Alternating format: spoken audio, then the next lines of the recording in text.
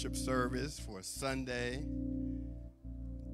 July 25th, 2021. My name is Reverend Albert Ike Jr., and you are tuning in to First Missionary Baptist Church of Moundville.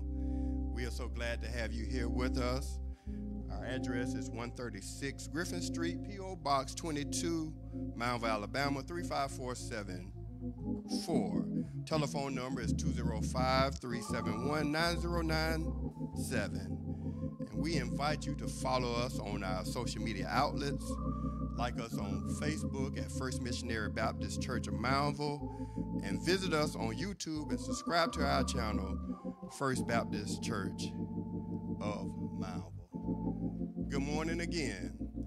We just want to thank you and praise the name of Jesus for allowing us to be here one more time. It's not because of ourselves, but because of His goodness and His mercy, because it's in Him that we live, we move, and we have our being.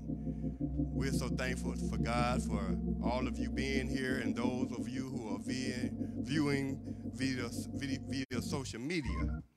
So God is everywhere all at the same time.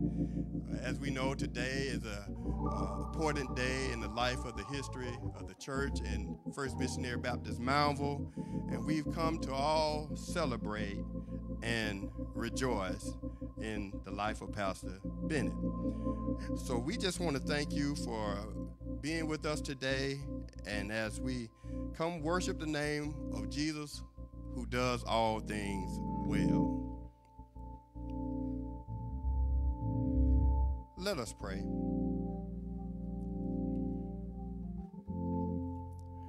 Almighty Father, the Alpha and the Omega, the beginning and the end, the one who hung the stars in their sockets, and the one who kissed the grass with the morning dew. We just come before you this morning just to say thank you. Lord, we come before your presence, thanking and praising your holy name.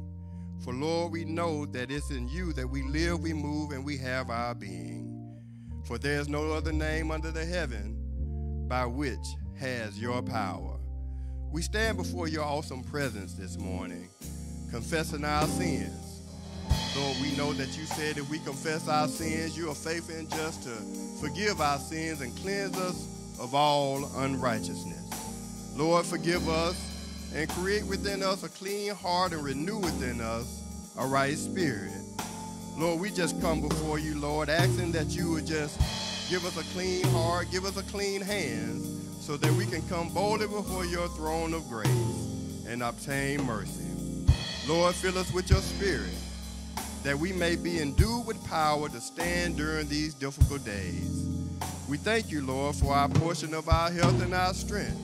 Thank you for the mind that want to come into your house of worship where we can enter into your gates with thanksgiving and enter into your courts with praise. Lord, we just thank you, Lord, for Lord, we know that you've been better to us than we've been to ourselves. And Lord, we know that without you, we can do nothing. Lord, we just thank you, Lord, that you have given us this man of God for uh, this period of time. Lord, we know that for 38 years, Lord, he has stood here on the mountaintop as you giving you us uh, your word and giving it to us from his mouth. Lord, we just pray, Lord, that you would just continue to give him strength from day to day, Lord. Lord, we thank you for the tireless service that he has given us. We thank you for each uh, that he, the time he's given each and every one of us, and especially this church. We thank you for the many prayers, the words of encouragement, the words of comfort, the counselings, the visitations, dedications, baptisms, weddings, and sermons directly from your mouth to our ears through your precious servant. Lord, we pray that you would just continue to pour out your spirit and your richest blessings upon him as he continues to persist in preaching your word. Lord, we just pray, Lord, that you would just continue to be with those who uh, may not be feeling well today. Lord, we pray, Lord, that you would just continue to test their bodies from the top of their heads to the sole of their feet. Lord, we pray, Lord, that you will allow us to continue to be vigilant as this variant of this virus is still around. But Lord, we know that your power is greater. Lord, we pray, Lord, that you would just continue to bless each and every one of us that you have placed above us. And Lord, we ask, Lord, that you give them uh, your word and your spirit, that they lead us in the way that you have directed them. Lord, we ask, Lord, that you just continue to help us to obey the laws of the land, and especially your word as we walk from day to day. Lord, we pray not only for First Baptist, Lord, but we pray for every church that's opened up in your name. For Lord, we know that if you be lifted up, you said that you'll draw all men unto you. Lord, we just thank you so much. And Lord, you've done so much for us. And we know that whatever we ask, you said that you would give us, Lord, if it's in your will. And so, Lord, we just pray today, Lord, and we pray in your power that all things are done and done in your name, the mighty name of Jesus, our Master Savior. And we just ask this in his name. And all the saints of God said, Amen.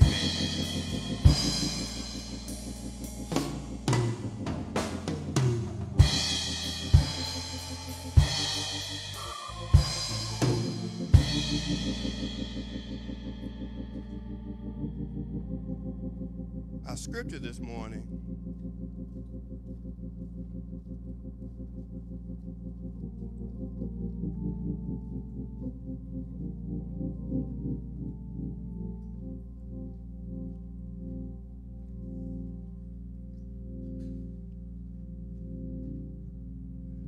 scripture this morning will be found from the book of Isaiah, chapter 54, verses 1 through 8. That's Isaiah 54, beginning at verse 1 and ending at verse 8. And the reads as follows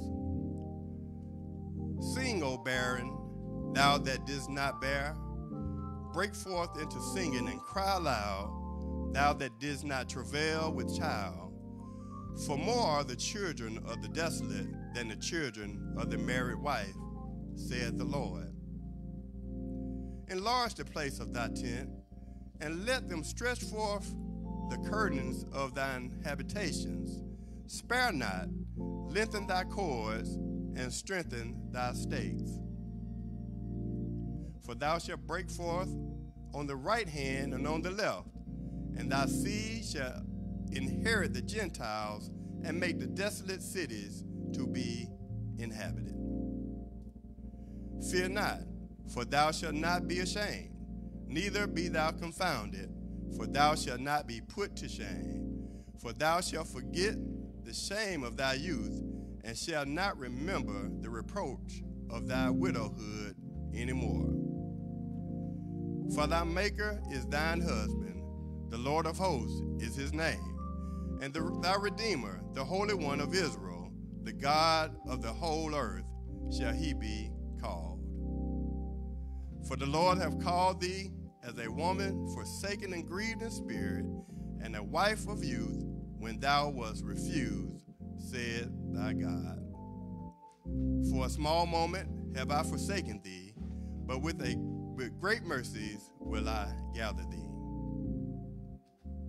In a little wrath I hid my face from thee for a moment, but with everlasting kindness will I have mercy on thee, said the Lord thy Redeemer. I read unto your hearing from Isaiah 54, verses 1 through 8. May God add a blessing to the reading, hearing, and especially the doing This time we will have a selection from the praise.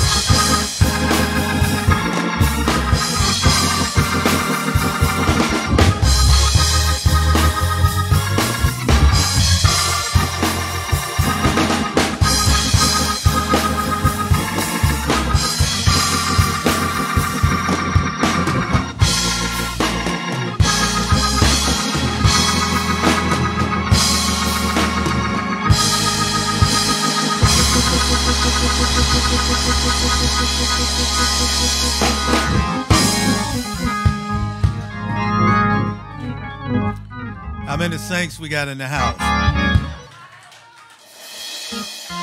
Master, again, how many saints we got in the house? If you if you are a saint of the living God, Jesus who is the Christ, then you ought to know that his name is precious. Thank God for you.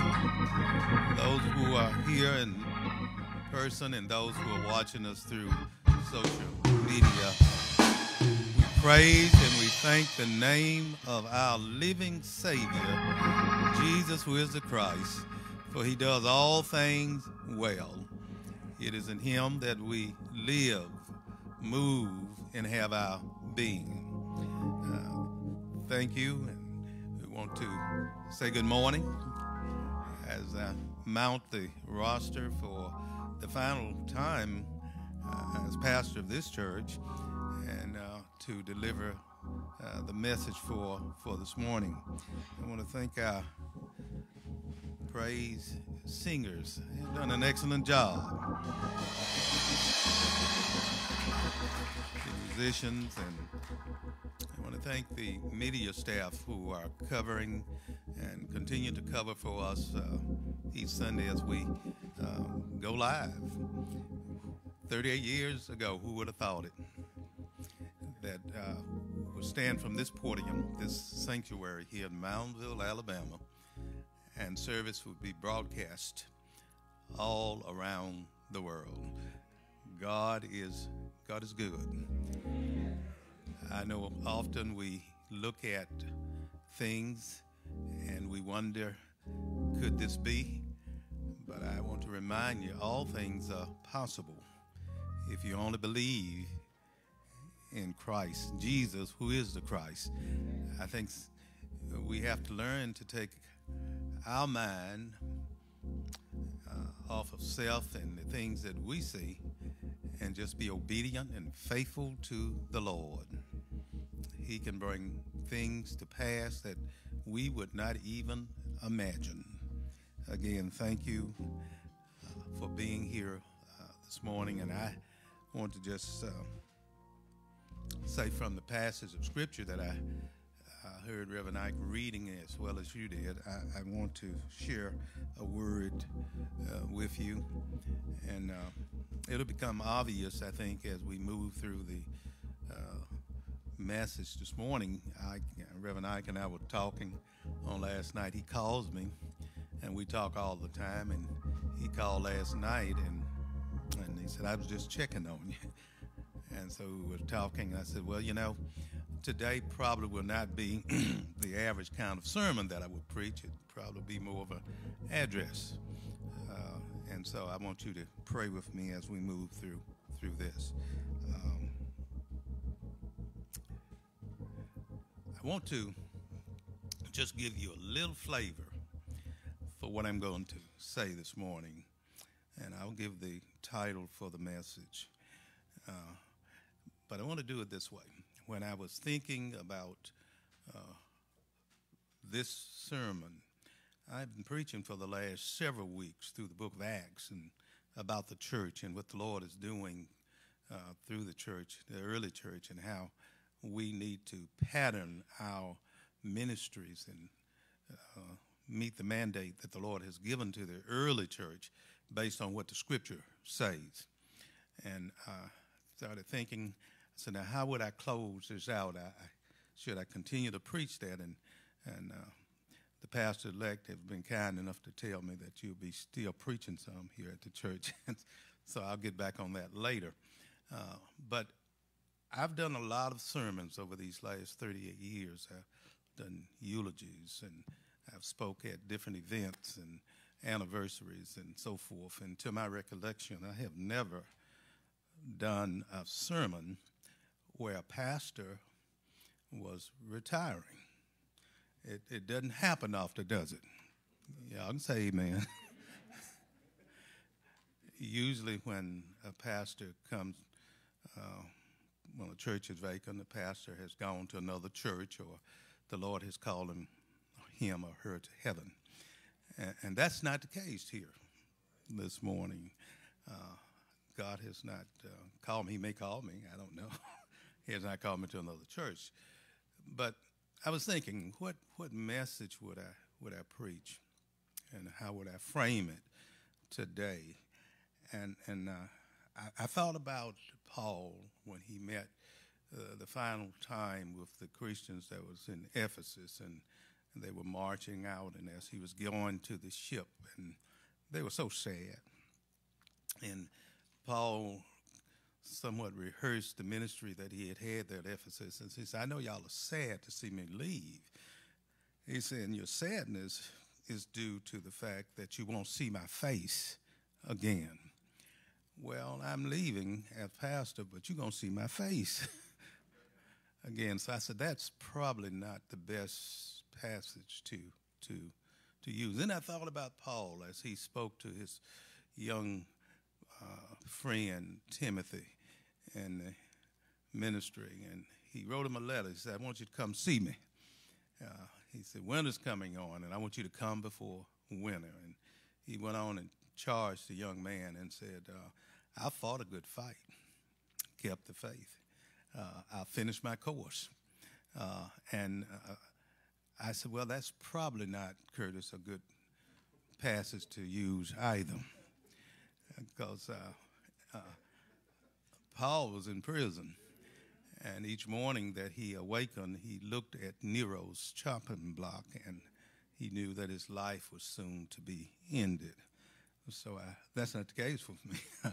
I do not see Nero's chopping block. And so I kept praying and I kept going back to this passage of scripture, and I'm, I'm going to give you just a little history on it when I, when I, before I go into the message this morning.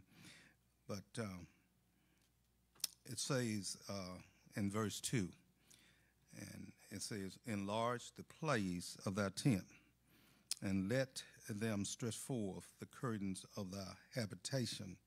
Spare not, lengthen the cord, and strengthen thy stakes, for thou shalt spread abroad on the right hand and on the left, and thy seed shall possess the nations, and make the desolate cities to be inhabited.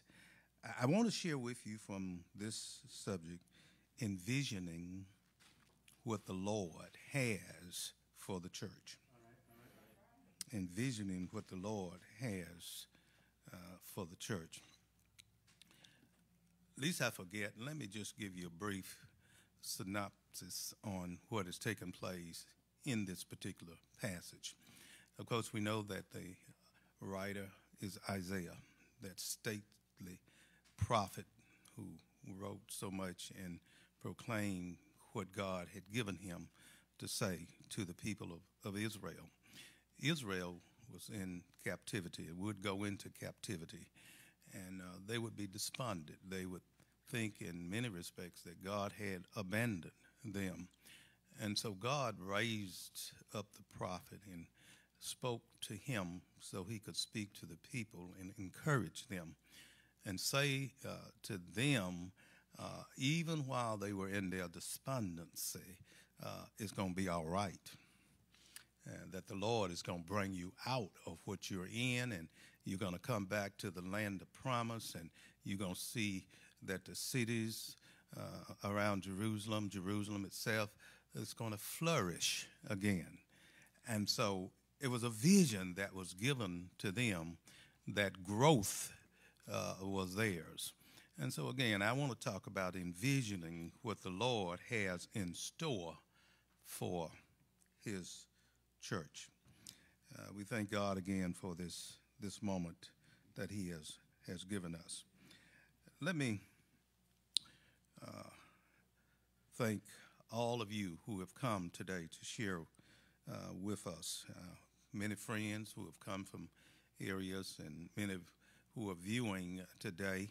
Uh, I've gotten calls as far away as uh, Texas and uh, people that I've gone college with, and, and then from Louisiana and, and all across this country.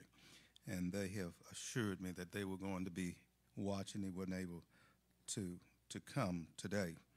and I thank God for, for them. I thank God for Jesus who does all things well. I want to thank uh, my family uh, for being by my side and being supportive of me for these 38 years. My wife went to be with the Lord uh, last year, and that has been a difficult time for me, but yet and still, I know that she's better off than I am. Uh, and I just believe this morning as I stand to, to talk to you that she's in that uh, crowd that's looking down on us now. And I believe that she's uh, wishing us well and saying, fight on, fight on. So I thank God for her. I thank God for my, my family, uh, which has grown a lot since the time that I came here. Yeah, so I thank God. As a matter of fact, this young man playing the organ today uh, was not in existence at, at that time. Uh, so I thank God for, for my for my family and and again I, I thank God for placing me here. I want to thank the community of Moundville, Alabama, uh, for what they have done and how they have received me. Oftentimes, I meet people, and I don't know if they're just being kind, but they'll say, "You're Moundville's pastor," and and I I think sometimes perhaps uh, they're looking at me because my hair is white, but actually I'm not the oldest pastor in Moundville. I just been around longer than the rest of them. And so I think Moundville, you know, the city council and, and the commissioners and, and, and, and, and the mayors, I, I think Hale County, uh, I'm probably one of the few pastors that uh, have the county sheriff on speed dial. he calls me and I call him, as well as the mayor of, of Moundville. So I think Moundville. I think Hale County and the churches that I've uh, been uh, offered the opportunity to come and preach to during these these uh, 38 years that I, I've been here. I thank Tuscaloosa, the Tuscaloosa community, for what you what you have done, and I've gone around and, and preached there. Uh, I want to thank my pastor, uh, the Reverend Dr. Vernon Swift, and the Elizabeth Baptist Church uh, for their support. Um, I'm out of Elizabeth. My membership is still at Elizabeth, and they have been supportive of me. Uh, they have guided me through this process of pastoring. So I want to thank them. I, I want to, again, uh, just give my family uh, uh my uh, appreciation to them. Uh, you don't know what it's like to pastor a church and to have a family. Uh, to most people, I'm the pastor, but to my children, I'm daddy. Uh, to my wife, I'm a husband. Uh, and a pastor has to do the same thing that any father and husband have to do, to take care of his family. And oftentimes, uh, they're busy going from here to there. And, and, and sometimes the things that uh, uh, children want their father to do and to be at, they can't do it because of the obligation they have with the church. But and so I want to thank God and thank my family for y'all. Y'all have been so supportive of, of me. Every step of the way, they've been with me. Every step of the way. And even now with my wife in heaven, my my daughter thinks she is supposed to instruct me I've had uh, Al to ask me and others, Daddy, you gonna move? Uh, you gonna what are you gonna do? And Al asked me one day, do it. I didn't start looking for a house for you in Birmingham. and I said, well, not yet. And David, what, what are you gonna do? You know, gonna stay here? Yeah, I'm gonna stay here. I said, let me stay as long as I know how to come home. I mean, if I have the mind to come home, but uh, Kelly, when that passes, you know, then y'all take, uh, I said, we got to do something with daddy.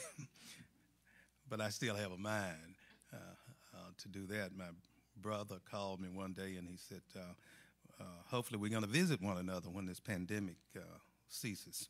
Y'all don't mind if I just take my time. And I said, sure, uh, sure, we will. And he said, I'm going to come to Alabama and uh, we're going to spend some time together. And I said, okay. And he said, I'm going to take two or three days to drive down there. I said, where are you coming from?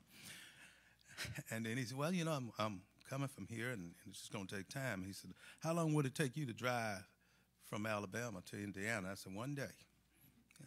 Eight hours, 12 hours. He said, you mean you still can do that? I said, I sure can. and so I, I, I thank God for, for health and, and for for strength. 38 years ago, I came to this church, and it was on the fourth Sunday in July, 1983. I didn't know the members, and they didn't know me. Uh, I had met the chairman of the deacons ministry and had been given the invitation to come and to share a message on that fourth Sunday. The pastor Reverend Harley had been called to heaven. And they asked me if I would come and, and deliver the sermon for that Sunday. They were in uh, mourning and they would soon be in search of a new pastor. And so I came on that fourth Sunday. Ruby, David, Renee, and myself, and I walked in the building here. And first time coming into this church, I actually didn't know where it was, had to kind of find it. First time walking into this church, and first time walking in uh, come into the sanctuary. And as I entered the sanctuary, it was as if the Spirit of God spoke to me and said, What an excellent place to do ministry. And I, I remember that as I walked through those doors, and the doors, it didn't look anything like it do, does now. What an excellent place to do ministry. Now, at the time that I came here, the church was a lot different from what it is now. Uh, can I take you back just for a while? Uh, when I came, there was steps from here going down into the basement of the church. The basement is still there. There was a little office over here uh, for the pastor uh, that uh, didn't have much room to it. Uh, and then there was a little room over here that they used on my left behind me that uh, the uh, choir would meet, and they would have Sunday school there for some of the students. And the choir loft was much different. It had that oval shaped choir loft and, and, and what have you. And uh, was the two rooms up front. One was uh, used for the finance or the office for administration. And they didn't have very much at all. And I'm not being critical, I'm just trying to go back down memory lane. And I had been here for a minute or two, and, and I noticed that they didn't have a telephone. And so I asked the deacons at that time about the phone. They said, No, we don't have a phone. I said, What would happen if there was an emergency at the church and we had to, to leave? They said, uh, We have to run to somebody's house. and I just said, I think we need, a, we need at least to get a phone. And uh, copying machines and those kind of things, you know, they were non-existent. Uh, church did the best it could. Now, I'm not being critical, but that was the finance room. And then they would have some Sunday school, uh, one of the Sunday school classes I believe met there. And they had this room over here on the other side. Uh, I don't know if it was used for anything at that point in time. Uh, and then the bell tower. It is a huge bell that's on the outside of the church now was in the bell tower. And every time I went in that room over there, I was so afraid. I said, That bell is heavy.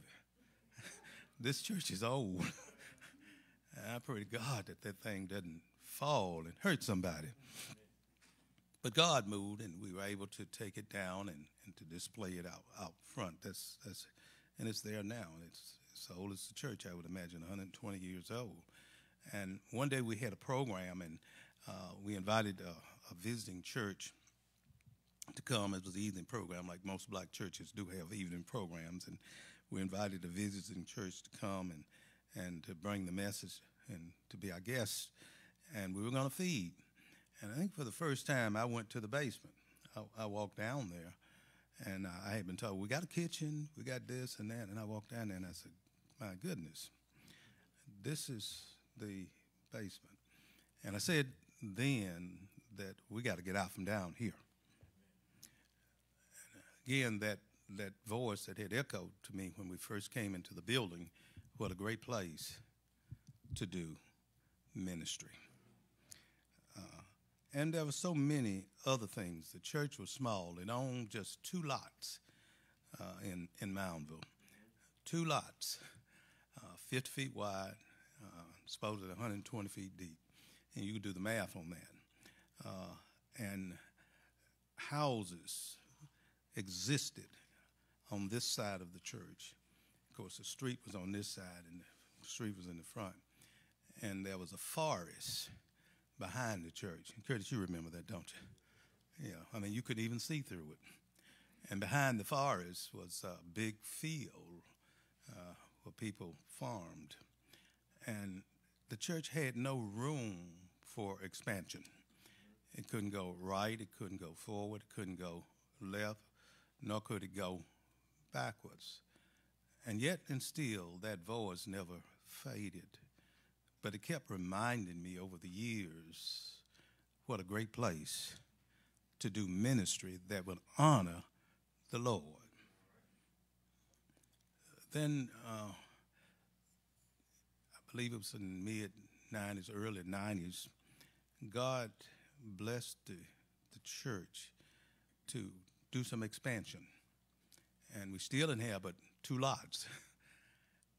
and we added the uh, administrative wing onto the church and a fellowship hall that included a kitchen and so forth and, and classrooms. And I don't know if I told you that when I first came in, the church had only two bathrooms. Uh, and it could only accommodate one person at a time. And those of you know when you get in a hurry to go, that was just not a good arrangement. But when we expanded, we were able to put in bigger bathrooms that, uh, and these things may seem uh, simple and uh, to you, but there were major issues. But we put in bigger bathrooms that accommodate more people and what have you. And I didn't tell you this, but at the when I came here, uh, if we had to baptize, we had to do it outside, uh, as most churches. And we were blessed because a lot of churches in this area at that time were still going down to the creek, which I never wanted to go, especially in the summertime. snakes. but we, we could baptize, and uh, I spoke with Belinda, one of the singers there, and uh, did I baptize you? And she said, You most certainly did. And I said, Where was it? And she says, Outside. But when we did the expansion, we brought the baptism pool inside. And if I remember correctly, Aldrich, he's out now, was the first person that was baptized in that pool. And so the church was growing. We saw membership.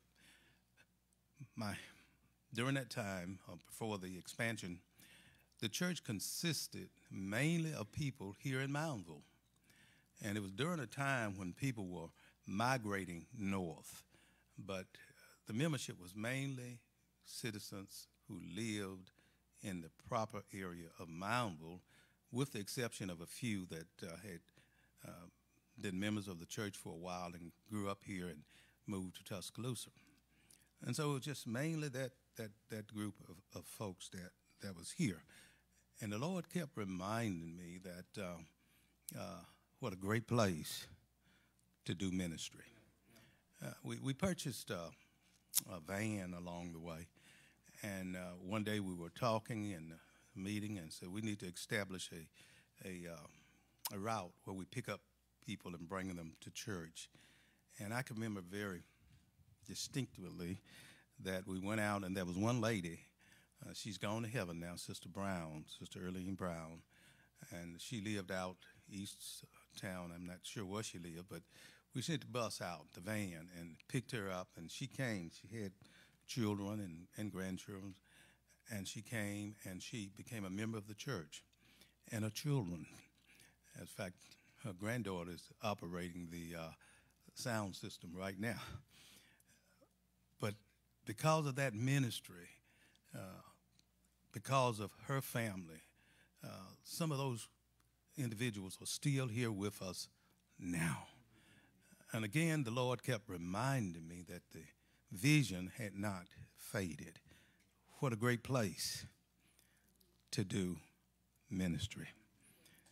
And so we kept praying, we kept encouraging people to worship the Lord in spirit and in truth, witness for the Lord every opportunity that you have, and not fail to work for the Lord. Uh, the Lord kept encouraging me to, to preach the word and, and to understand that change come about through the Lord. He changes things. Uh, he works through ministers and, and the messages that they are given to preach to people. And if the word can't do it, we can't do it. It can't be done. So we kept preaching, and, and the Lord kept adding to, to the membership. And before long, we saw people coming from Alberta City. right, Ike? we saw people coming from Northport. We saw people coming from Hale County, down in Greensboro. Uh, and even today, we have uh, people who come in to worship with us from Greene County, Eutaw, uh, and out of Tuscaloosa. And so the church is a, is a mixed uh, church, and it's a young church. Uh, many of the members that uh, were here at the time that I, when I first came, were seniors, and they're gone to be with the Lord now.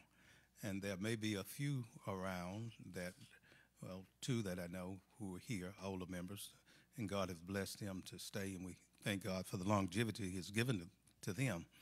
But most of the members who are the, of the church are, are younger people, and uh, younger people tend to have a different vision, uh, uh, a different view of what's going on uh, uh, in the church. They bring strength and energy uh, to the church, and I don't know where we would be today if we didn't have some young people who are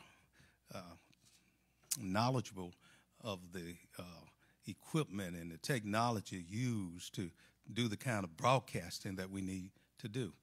Uh, God blessed us. We got an IT person on staff who's going to soon uh, assume the reign of pastoring the church, and they know how to do things. Uh, somebody that's uh, my age, I know how to do some things, but some things I can't do, and so we thank God for for for them certainly the spiritual level of the church and the commitment uh, to the church has has in, increased. Uh, the church has been renovated. That uh, we now have the sanctuary here that you're seated in today. Uh, we have adjacent to the sanctuary an administrative area that has offices for our Sunday school superintendent, uh, director of Christian education, uh, office for the pastor, and, and finance room. All of that has come about. And then we got fellowship hall. If we want to have a smaller banquet, we or whatever, we could do it there. Got a kitchen here.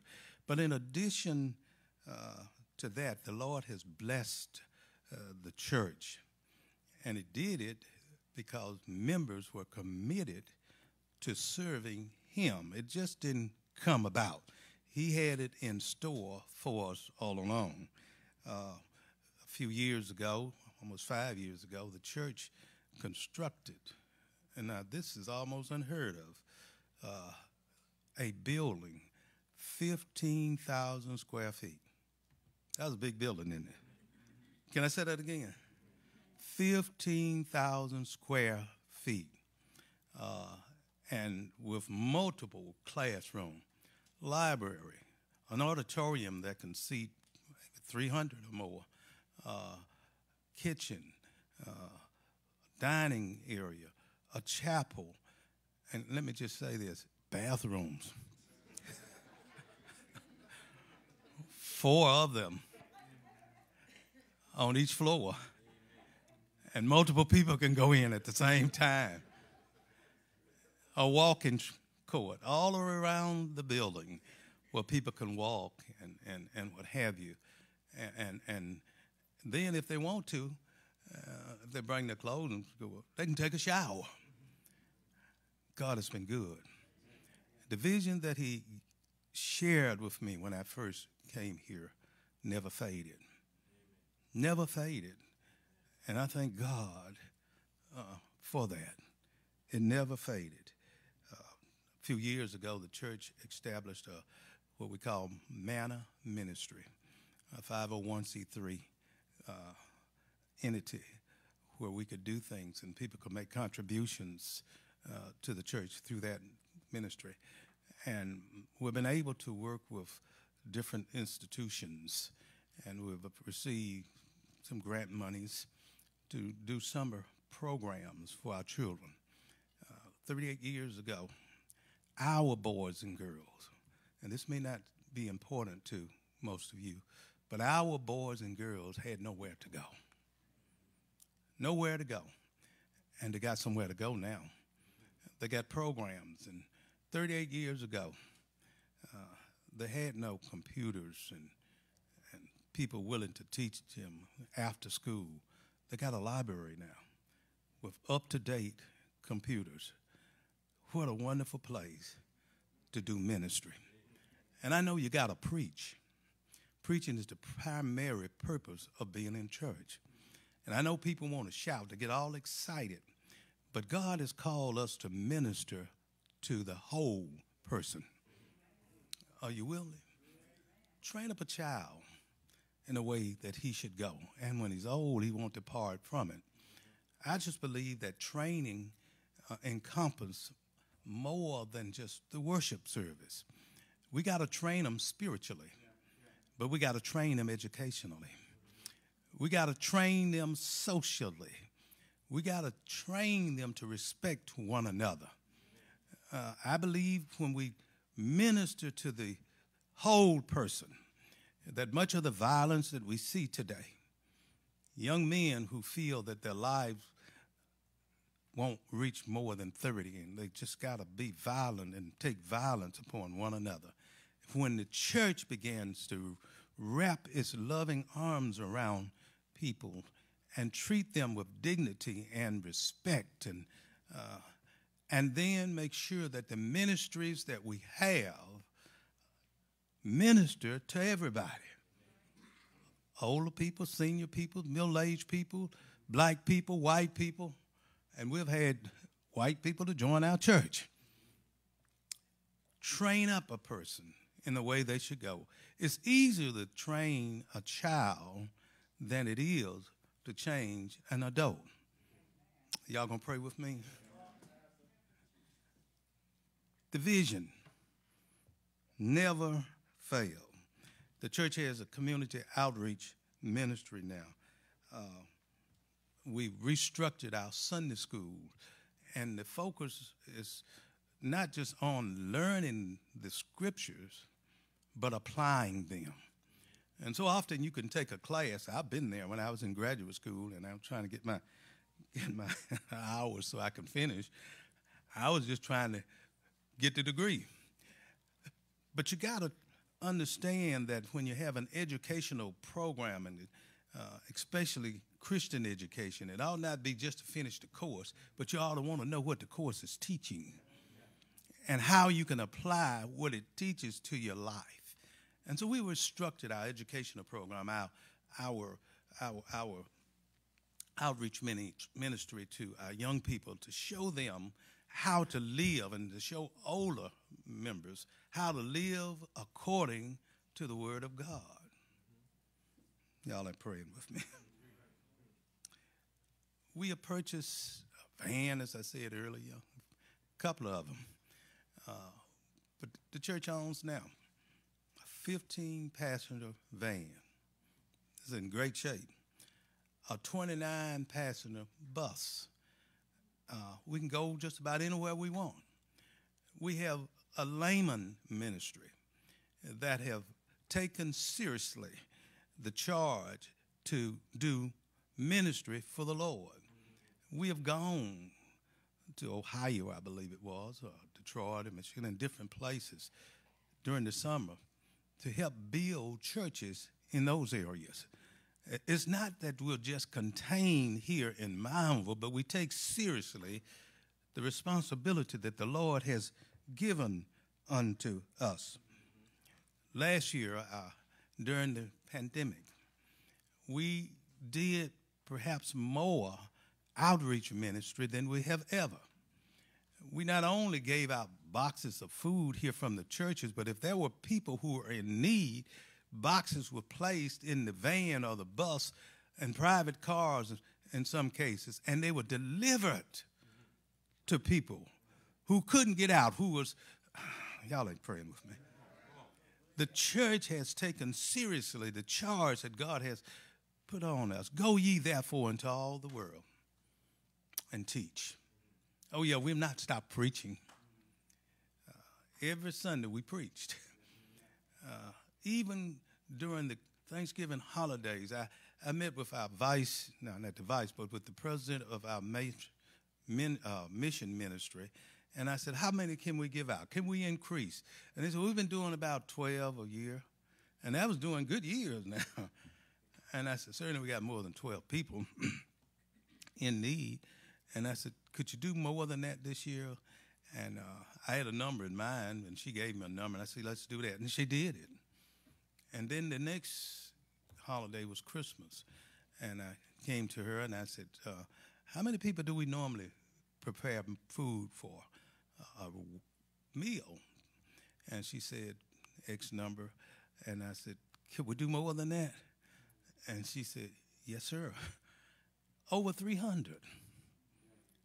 People don't recognize that. Over 300. And I saw people coming to get a meal on bicycles, walking across the street. What a, what a great place. Are you getting the picture?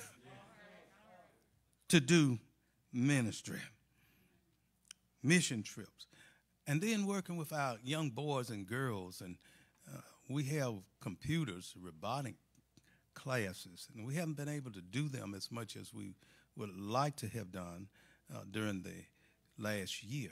But we have computers where our young boys and young girls can come together here at Moundville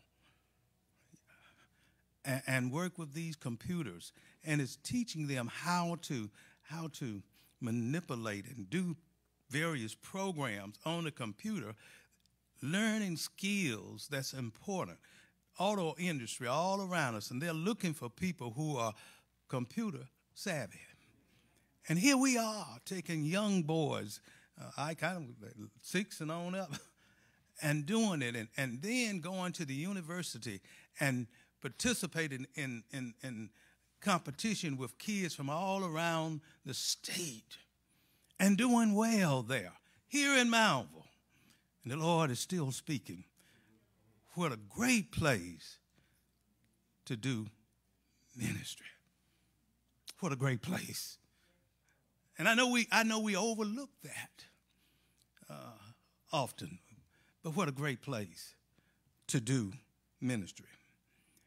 I was told just recently that 14,000 cars pass through Moundville every day every day.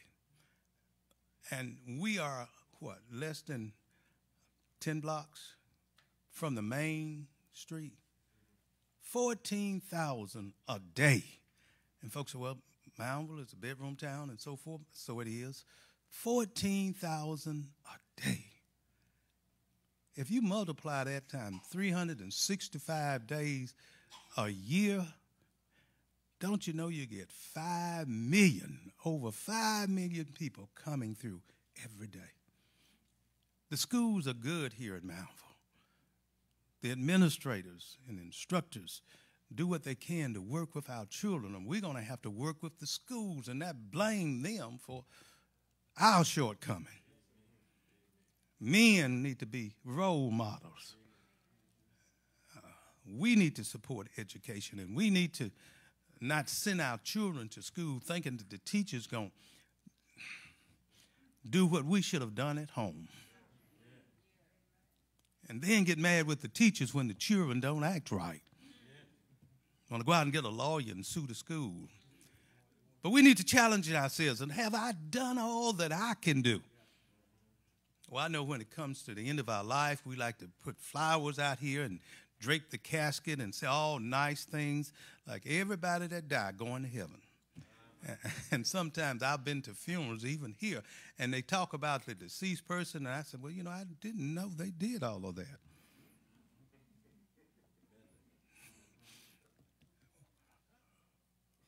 May the work I've done speak for me. May the work that I've done, and we've tried to instill that in the minds of individuals. It's not just enough for me to stand here and hoop on Sunday mornings and shout you. But how do I walk when I leave here? Am I a good role model? Am I an example to the believer? Am I a good role model? One of the most encouraging things, and indulge me now, that I have heard and, and been blessed with is some of the younger members of the church who, who have come in and, and uh, they'll say, we're working in a professional position and we know how to conduct ourselves. And, and they said, You know why? And I said, No, tell me. Is it because of you? Because of you. So you came and you started talking about being professional, knowing how to talk and how to present yourselves and how to dress for success. You did that. And I said, Thank you, Jesus. What an excellent place, Peggy, to do ministry. What an excellent place. What an excellent church to do ministry. All of these things have been done, and yet the vision of the Lord has not been depleted. Not at all. People coming through and people looking at. I, I did have an opportunity again just recently. Now I'm a facts gathering preacher Yeah, and, and some of the members will tell you, they'll tell me one thing, and uh, I said, okay. Uh, I trust, but I verify. I'm a facts checking. And, and sometimes the facts don't check out, Curtis. Folks say, I love the church. You know, I do this for the church. And I check the facts. And I said, You don't demonstrate it in your support of the church.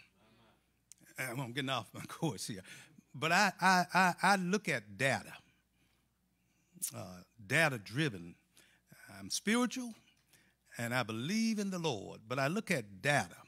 And when churches are looking to establish or start a church, denominations, you know what they consider? They'll look at the population of the area. And they'll look at if there's a conglomerate of people living together and there's no church, uh, particularly of their persuasion, uh, then they'll start a church. Black churches don't do that much. Uh, they'll go out and they'll start a church. And I look at data and, and data driven. And why, why, where are you going, Pastor? I'm going with this. Do you not know that there are hundreds of homes being built here in the vicinity of Moundville? There are some beautiful neighborhoods here in Moundville. People ride through Moundville and they see just the outskirts, and they haven't been uh, to the neighborhoods. And some of y'all live in them good, beautiful neighborhoods. I, I kind of wish I could live there. uh, right down the street, there, there are some of the most expensive homes that you want to see. Am I right, Curtis? Oh, say amen. Right here, you go down a little bit further from the church and there are homes built down there on the river.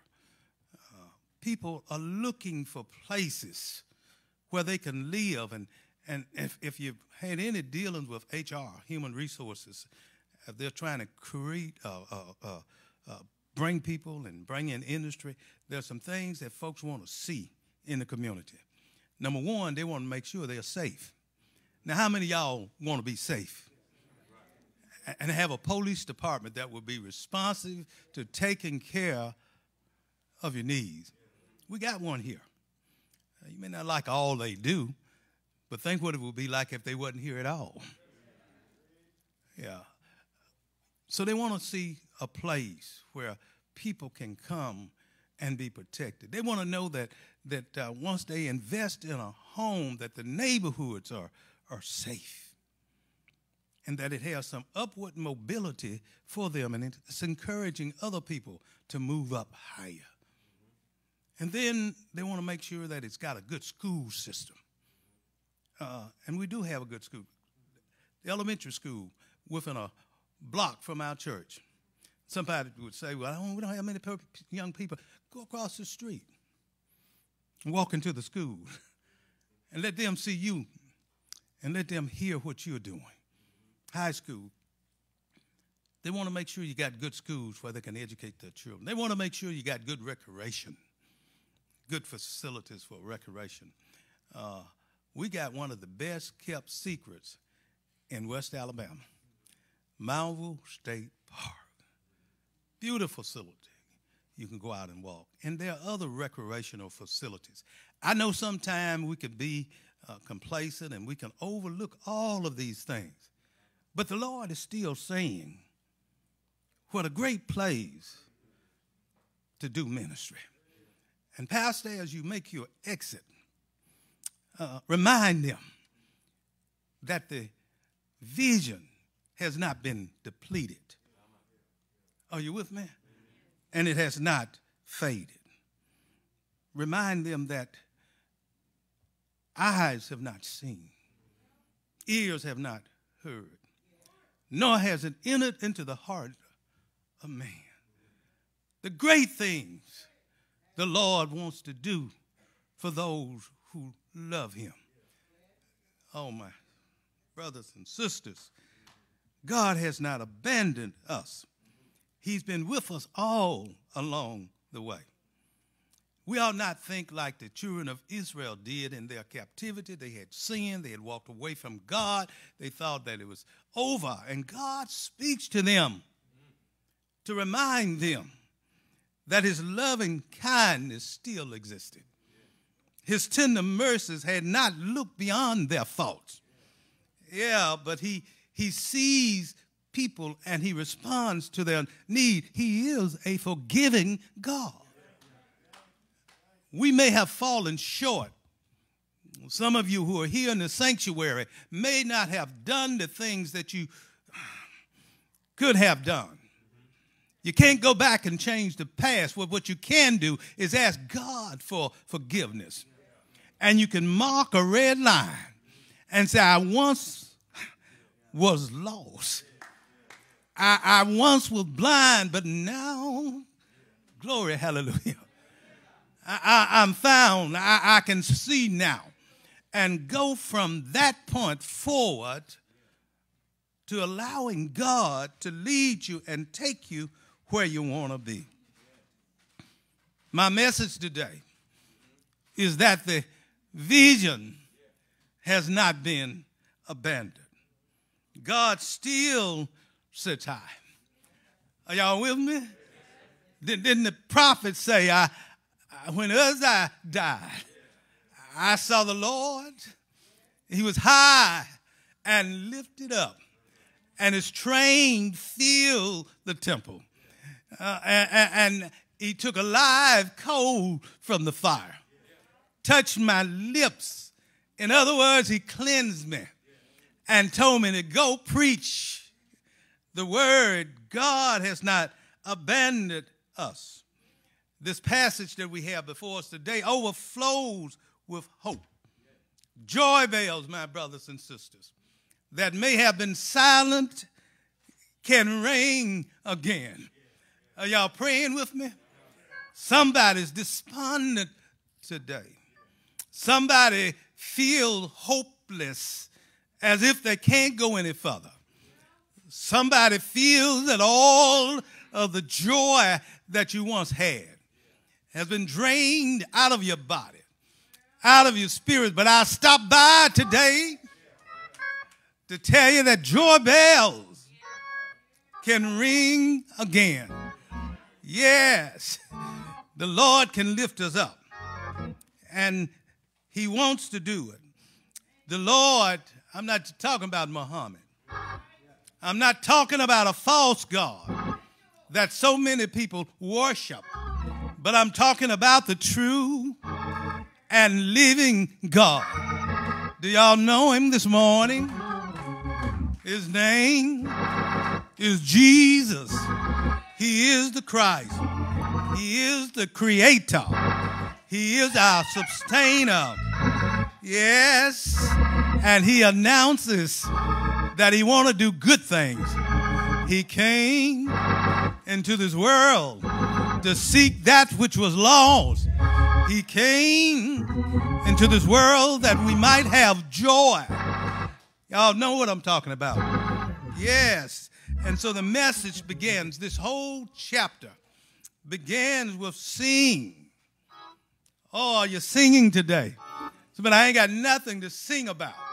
Those folks down in Babylon took their musical instrument, put them on the trees, and said, How can we sing the Lord's song in a strange land? I want to say this morning, First Baptist, you got something to sing about. You may be barren, but he said, Sing, sing, break forth with singing. Here uh, is why the nation was encouraged to sing and shout with joy. He says, You've been like a barren woman. Uh, you've been like a woman that had no children. Ah, uh, but I'm going to fix it. Won't he fix it? I'm going to bring you back. You're going to repopulate the land in which you was taken mm, away from. And I want you to anticipate coming back.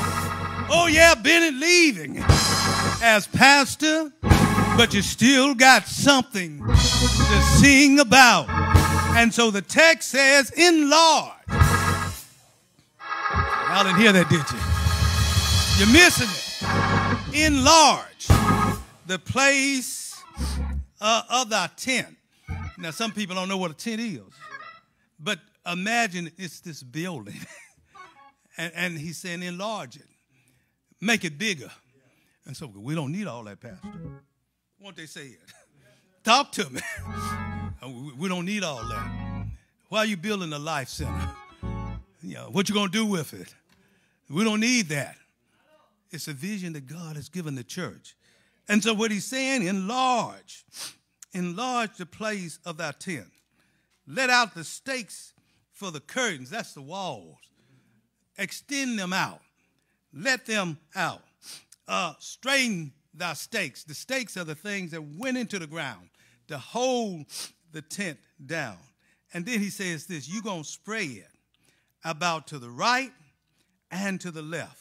Your offsprings will possess the nation and people that populate the city. Do it. Don't be scared. And so often I hear members of our church, well, they're so reluctant.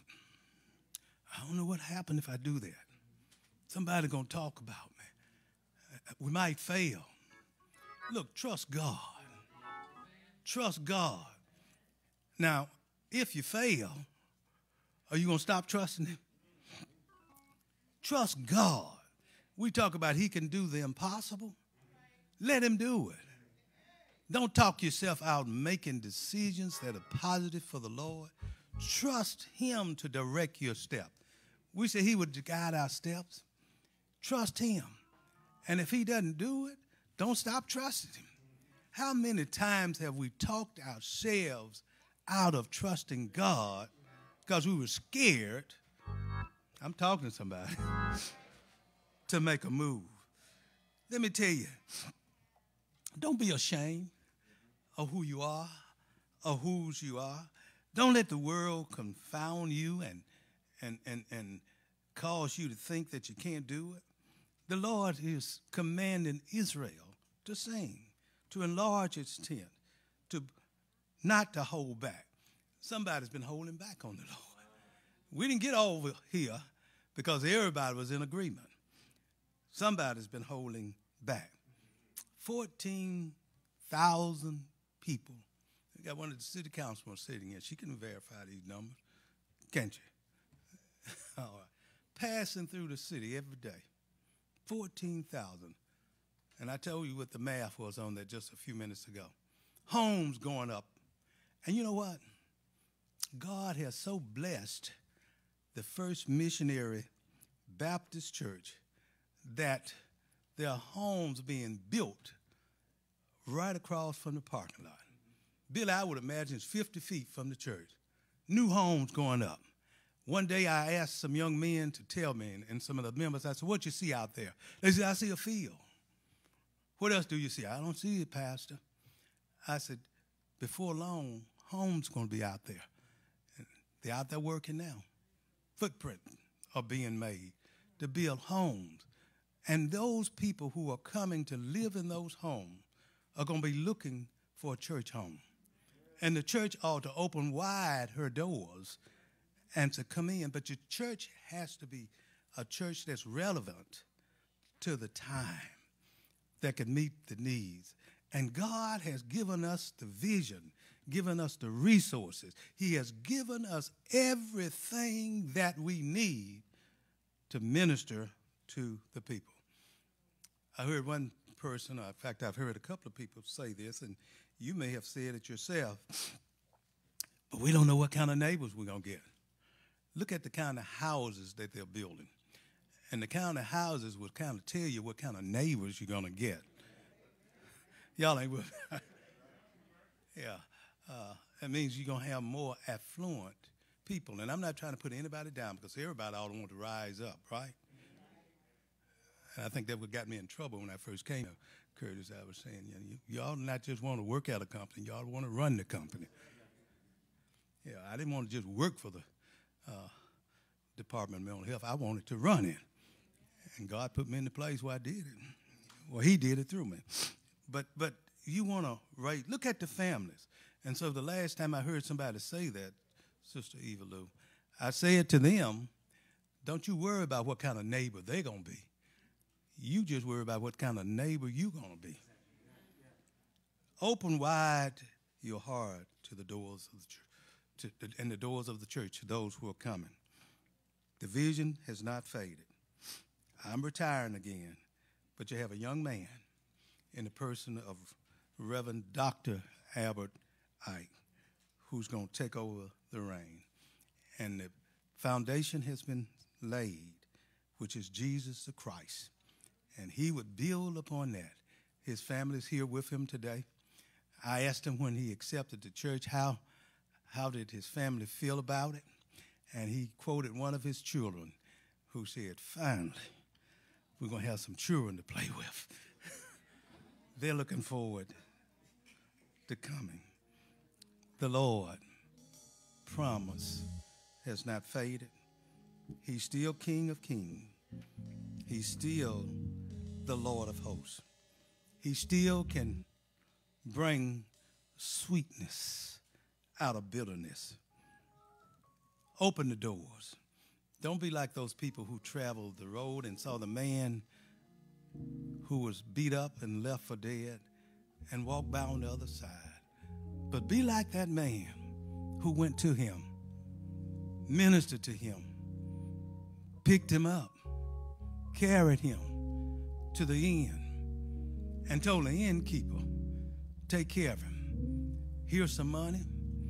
And if it's not enough, when I come back, I'll pay you. Let people see that you love folks. Are you with me? Don't look down your nose at people. Continue. Continue to follow the vision that the Lord has given. God is a good God. God is a good God.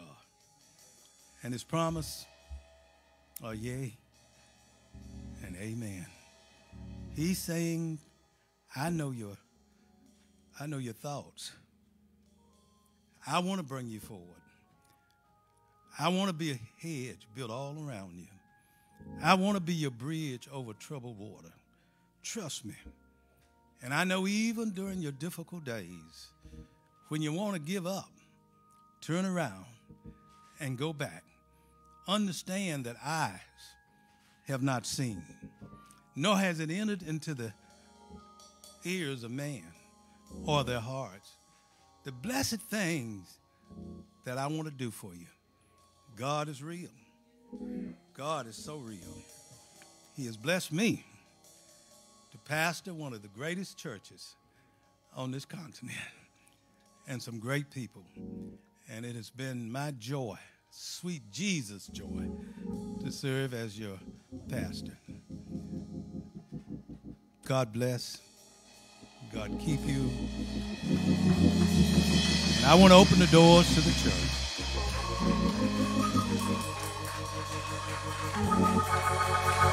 Envisioning what the Lord has in store for,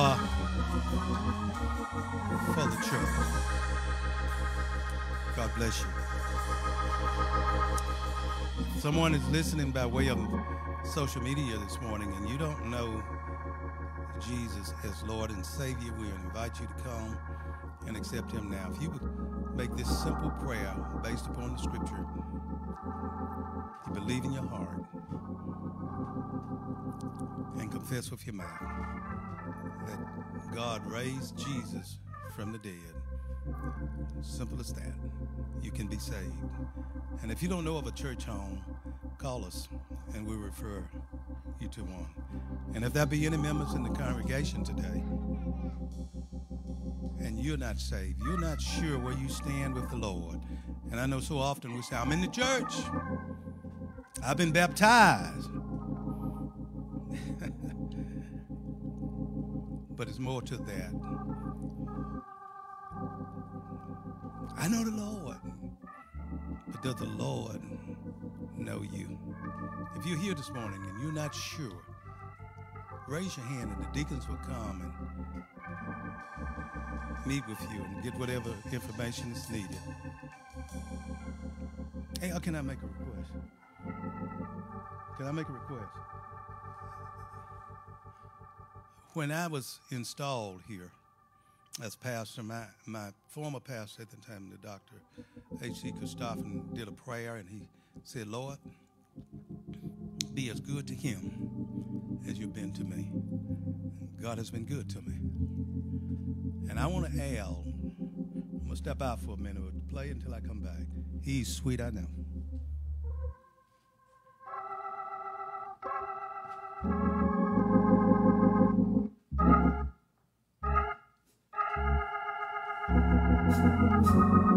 See, this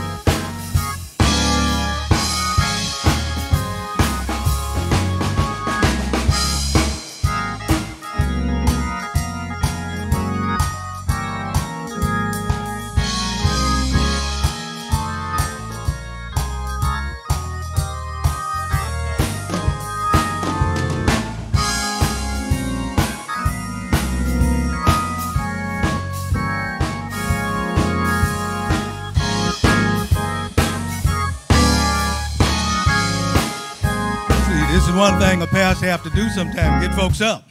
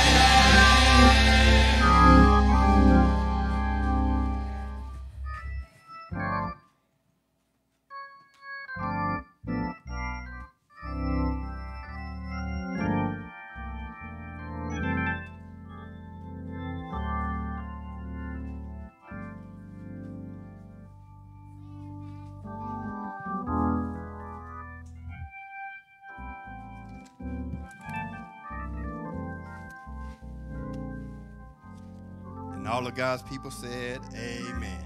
Amen.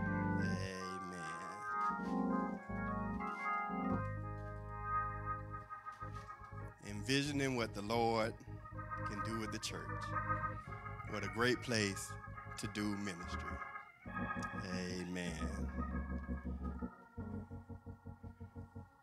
And as Pastor Bernard has stated, when he came down, he didn't come down by himself but he had a helpmeet. And at this time, if you would indulge me, I would just like to read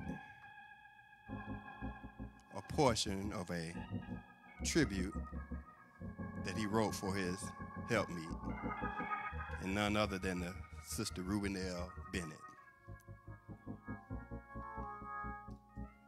And it reads as follows A tribute to Rubinell Bennett, the perfect girl for me.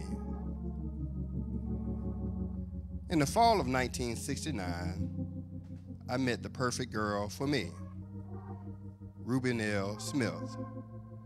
We were both high school seniors. She was a student at Hale County Training School, and I was a student at Sunshine High School. Ruby was at the top of her class and looking forward to attending college, and I was looking forward to attending school, finishing school, and leaving Alabama